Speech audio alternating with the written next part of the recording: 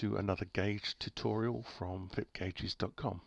So recently I released a few gauges um, that do some like airport approaches and I'll be releasing some soon where you can do some takeoffs as well both for planes and helicopters. Now in all of these gauges you have custom locations that you can create. Now I thought I'd create one tutorial which covers all of those gauges. So let's get started. Okay, so first off, if we go into the gauge list and if we go down to the bottom of the gauge, this is where the custom entries are found. Okay, so you can see we have 10 custom entries for each gauge. Now what we need to do is we need to define what the variable is for each of these items that we need to configure. Now the variable names are different depending on which gauge, but in essence it's the same process to change the data. And if by showing you one, then you'll be able to do all the others as well. Okay, so the first thing we need to do is identify the variables we need to change. And the easiest way of doing this is by just clicking on the Show Manual button for the gauge. And this will open up the reference guide for the gauge from my website.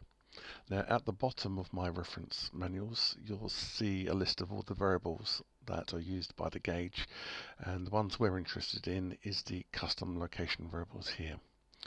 Okay so we have 10 custom locations and as you can see there is locations 0 to 9 you've got latitudes 0 to 9 longitude 0 to 9 heading blah blah blah.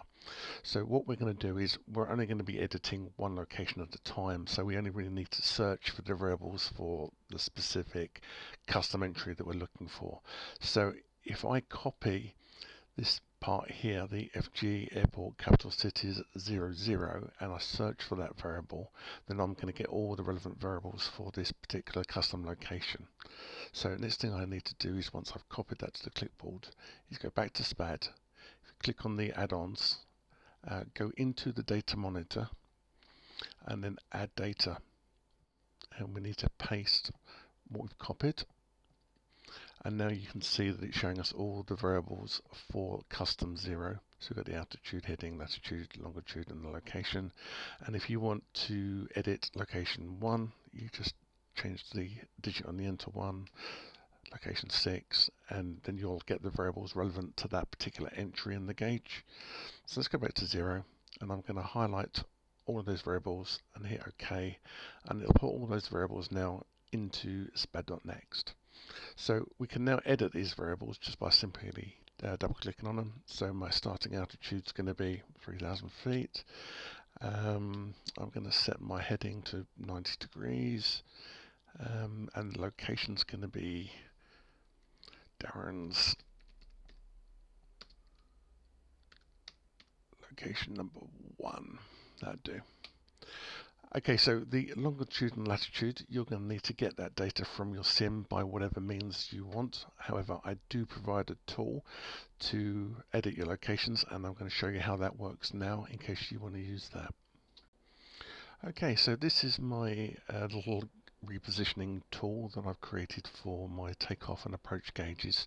And you can see the current latitude and longitude is displayed in this gauge. And these are the values you would need to enter into my custom longitude and latitude um, so you can use any slew tool that you prefer to use and once you have your plane location set you can take your latitude and longitude values and put them into the custom but I'm going to very briefly show you how this tool works. So I'm currently at Gatwick Airport and I'm on the ground but what I want to do is I want to create an approach to this runway and it can be any runway anywhere obviously. So you need to pick a view that works probably better than this and I tend to go for the um, outside and top down initially so that I can get an idea of where I am and the orientation I need to be. So here's my aircraft in the middle and what I'm going to do is I'm going to basically put an approach on this runway here. So first off is I want to get it lined up with the runway. So I'm going to use my left and right dials to change the longitude and latitude.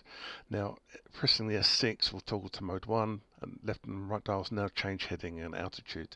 So you just need to toggle between modes 1 and 2 depending on what you want to set. Now S1 changes the move speed. Now at the moment it's set to the lowest and it means that the aircraft will barely move. So at the moment I am moving the aircraft, but it's so small you can adjust it, you know, in very small um, amounts in feet. So if I zoom in to the airplane, you can see how little that aircraft is moving. But it does mean that you can fine tune it quite nicely and you can use the buttons here uh, for rotating the aircraft so I can turn it and I can reposition it move forwards and backwards. Now the button, the dials do longitude and latitude not necessarily up down left and right as per your view. So it does take a little bit getting used to as to which direction to uh, twiddle the dials. It is a bit trial and error. So let's zoom out. And what I'm going to do is I'm going to change the move speed so it's much quicker. So now I can move out much faster. So I can move my aircraft out. Obviously I need to zoom out some more so I can see where I'm going and I'm just going to whack the aircraft out if I hold this one it will go even faster so I'm somewhere about there let's zoom out and see how my approach is looking yeah, a bit more fine tuning something like that. Now I've got a rough distance I can work with. I can now change the view back to the cockpit. I obviously want to change my um, altitude. Okay, so let's get a bit of height. And obviously now I need to know where I'm going, so I need to rotate back to the airport. Okay, so now I've got a, a better view of the airport approach, I can again, I can fine tune the approach. We'll add a bit more height. Okay, I mean, that'd do for now. I mean, it doesn't have to be perfect. So now I've got my longitude and latitude values and I can simply enter those into the gauge now. Okay, so back in SPAD we now have these values we can edit. So our latitude value, and I can simply put in the value.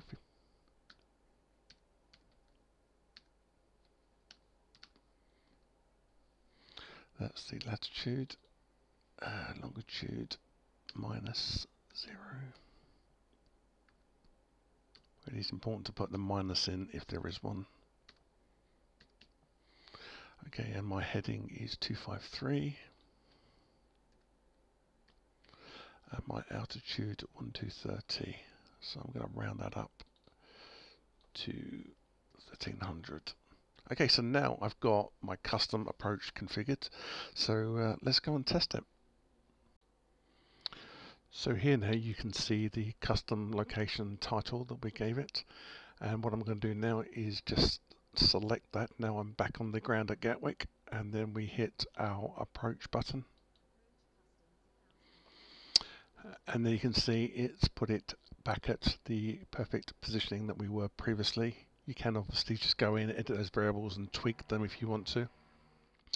Okay, so briefly, if you want to add another, you just simply um, find out what the variables are. In this case, we want the O1 variant, so you're going to need to go back to the data monitor. You'll need to add your data, and you'll need to put the variable that you're looking for. In this case, we're looking for uh, cities 01. So we find the custom variables, add those to the data monitor, and now we can edit those. So we can put in Darren's location 2, and when you hit enter, you can see that straight away added that data into there. You can then just set your altitude, your heading, your longitude and latitude as you did with the other one, and then you can continue doing that for all the other custom entries if you want.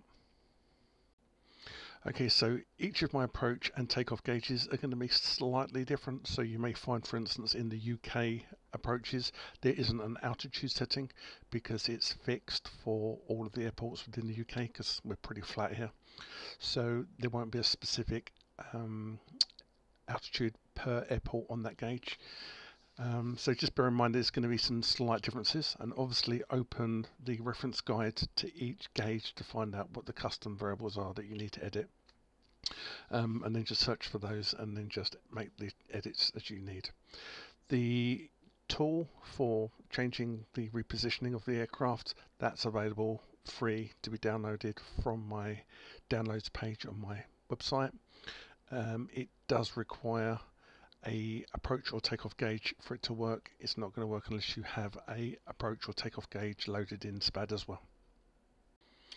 Um, regarding the um, repositioning gauge, at time of recording this, there is a little issue where you can't adjust the attitude with the gauge while the plane is sitting on the ground. It just refuses to lift. You can't increment the altitude while the aircraft is on the ground. So just get the aircraft in the air, then reposition it and you'll have no issues. Okay, so I hope you didn't find that too confusing, but if you have any questions, then please do give me a shout. Um, and that's it for this one, so thanks for watching. Please, if you haven't subscribed, please consider doing so, and I'll catch you on the next one. Bye for now.